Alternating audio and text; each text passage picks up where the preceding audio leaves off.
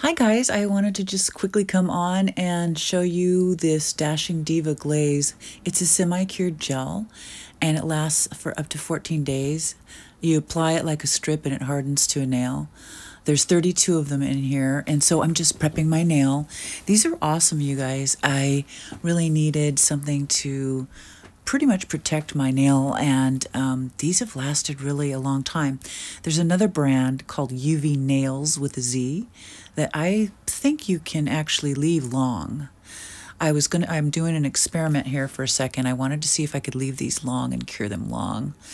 Basically, you prep your nail, peel it off, and I already had a um, light, but the there's a kit that comes with the light, and I believe it was like $14.99 at Walmart here's the other light. So my light, I didn't feel like it cured that longer nail that I'm trying to experiment with for a minute here. Uh, I don't feel like it cured it all the way, so I went and tried to use their light to see if it was any stronger.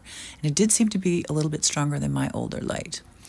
So yeah, I'm just showing you here that it's it's pretty strong, but I don't think I'd take that to the bank. And later on, you'll see I, I cut that down because it's just um, it, it could be dangerous when it's kind of floppy. And I, I uh, didn't show it on here because it's boring, but I let that cure quite a few times. I probably cured it about four times, so about maybe four minutes. So it should have more than have um, hardened up, but it didn't. So I made, um, there's a couple things, little tips. Uh, the reason that these even came off at all, and they didn't, I had to take them off and it was pretty hard because I didn't do the directions, which says to use oil.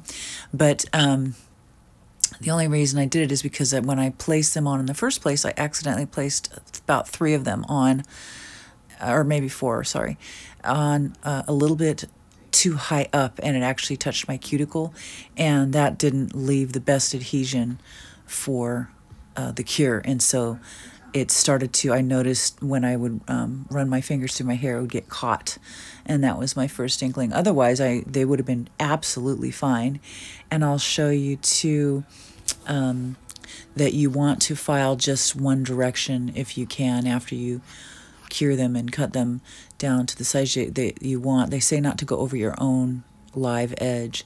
And you'll see that's just as shiny as um, those last two nails were just as shiny as the first. All right, guys. Hope you like it. Bye.